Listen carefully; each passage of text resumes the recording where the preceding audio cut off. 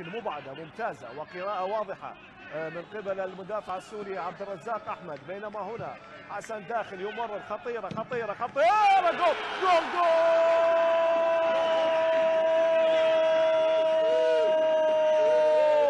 يا للروعة يا للجمال يا للمتعة. هدف ممتع مثير جميل. مراد محمد لاعب. هذا الهدف سيعطي أريحية تامة. للاعبي نادي نفط الوسط للخروج بنتيجة التقدم خلال مجريات الشوط الأول بينما سيزيد الأعباء كثيرا ويزيد الضغوطات على الأصفر الكناري الذي قدم شوط جيد شوط مناسب. صراحة أضاع يعني أكثر من ثلاثة فرص محققة لم تستغل بشكل مناسب من قبل لاعبي وهنا وبالتالي تمكن مراد محمد من توقيع الهدف الأول في اللقاء. عرضية كرخية مبعدة رأسية تعود من جديد إلى سجاد جاسم. يمر اللاعب الدولي المطلوب من عدة أندية إيرانية. ممكن أن يشاهد يطرق أبواب الاحتراف الموسم القادم. عرضية هذه ممكن المحاولة خطيرة. جول جول جول! عياضية عمر عبد الرحمن! يدرك التعادل للفريق الكرخة وسط نظرات من أحمد عبد عبد الكريم قوقية وبالتالي تهيأت بالرأس من العملاق مناف يونس لكن ظهر ظهر لاحظ عمر عبد الرحمن عياضية من بين أربعة مدافعين سلة وتوغل وبالتالي ركن الكرة إلى شباك نفط الوسط. إذا التعادل هو عنوان مصلحة الكرخ والدقائق الأخيرة لمصلحة نفط الوسط. إذا الحكم الدولي السيد مهند قاسم يعلن عن نهاية هذا الشوط بالتعادل الإيجابي هدف لكل منهما. بين المنتخب الكوري الجنوبي بمنتخب كوريا الشمالية. إذا على بركة الله صافرة الحكم الدولي مهند قاسم تعلن بداية مجريات الشوط الثاني وهذه نادي نفط الوسط. بينما نادي نفط الوسط يبقى مطالب لتعزيز الرصيد من أجل التقدم. ضمن الأربعة الكبار وركلة جزاء خلينا نشوف قرار الحكم. أم هي ضربة حرة؟ كان هناك اعتار واضح من قبل حسين فلاح. وخلينا نشوف قرار الحكم الدولي السيد مهند البشري. والتنفيذ قد يكون أقرب لحسن عبد الكريم بينما ارتدت من الجدار البشري لنادي نفط الوسط. اذا فرصة مرت على نادي الكرخ في استغلال الكرات الثابتة. يوسف فوزي يلعب كرة فلور. بينما هنا تمرير لمصلحة نادي الكرخ وكرة خطيرة. التصويبه الله! حميشه السوري كاد أن يدرك هدف الثاني. المناطق الأولى وهنا عرضية. مبعدة من المخضرم سامان سعيد. تعود للكرخ من جديد في وسط الميدان بينما مهند عبد الرحيم حسن داخل حسين عبد الواحد ديجير يخسر الكرة يوسف فوزي يحاول السيطرة على هذه الكرة والتمرير لعمر عبد الرحمن. صاحب هدف التعادل ممكن يمر من أكثر من لاعب لكن حكم اللقاء قريب يقول ماكو شيء خطيرة خطيرة خطيرة خطيرة جول لا لا لا جول جول جول جول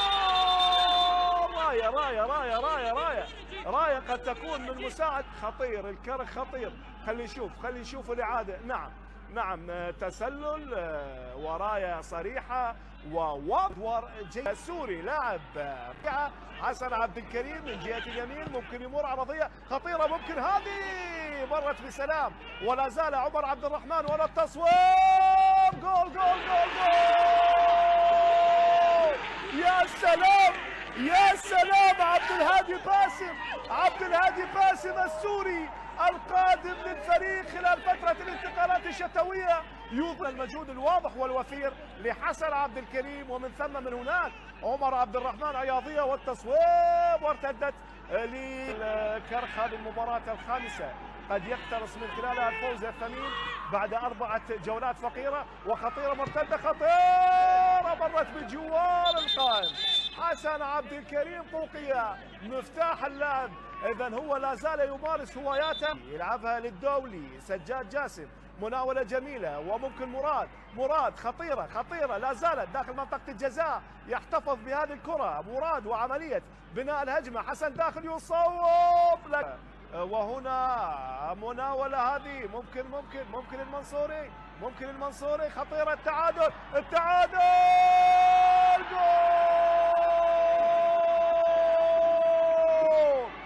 سجاد جاسم وأخيرا يدرك التعادل لمصلحة نادي نفط الوسط في الدقائق المتبقية من المباراة. وهنا يظهر سجاد جاسم أمامه. يعني 11 دقيقة متبقية وممكن مشاهدة الهدف الثالث. وهنا بدأ يعطي مساحات والتصويب. الله الله الله الله خطيرة. لا زالت الثالث. أوه. راحت على سجاد جاسم. وتدوير للكرات. خالد كوردوغلي السوري مع مراد محمد. مراد يلعبها للمنصوري. المنصوري يلعب للسوري. الكردوغلي يمر يحاول. خطيرة خطيرة خطيرة خطيرة لكن مبعده لا زالت. خطيرة ومرت ومرت. بالسلام على شباك نادي الكرخ. اذا يعني لاحظ هذه المحاولة.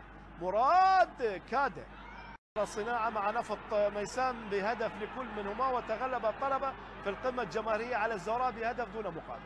بطاقة صفراء أيضا على حيدر نجم من قبل الحكم الدولي مهند قاسم. والله قد نشاهد الحمراء. اجت الحمراء. اجت الحمراء على حيدر نجم. نعم مهند قاسم. أه تلونت صفراء وصارت حمراء. اذا حيدر أه نجم وبهدفين دون مقابل. وهنا التصويب مرت بسلام. إذا تصويبة قوية كانت مرت بجوار القائم قد تكون ركنية. تدخل أيضا في الدكة التدريبية مع عبد الكريم ناعم كمدرب لحراس المرمى. وهنا الركنيه في الدقائق الخمسة الأخيرة من اللقاء. حسن عبد الكريم تلعب كرة عالية رأسية خطيرة ممكن مبعدة لا زالت خطيرة هذه الكرة لكن مرت. اذا كرة هوائية عالية غير مستقرة تعود إلى ركنية جديدة للتنفذ للكرخ. ممكن الآن قطعة من دفاعات نفط الوسط. تعود المنصور استخلص الكرة من أمامه. تلعب من كرار سعد وهذا انفراد وخطيرة خطيرة. أوه ودخول وخلي نشوف لكن تسلل على ما يبدو. تسلل كانت راية من مساعد الحكم الأول. الدولي السيد ميثم يوجه وأيضا يقود الدفة التدريبية بدلا من حيدر نجم بعد إبعاد حيدر نجم بالبطاقة الحمراء.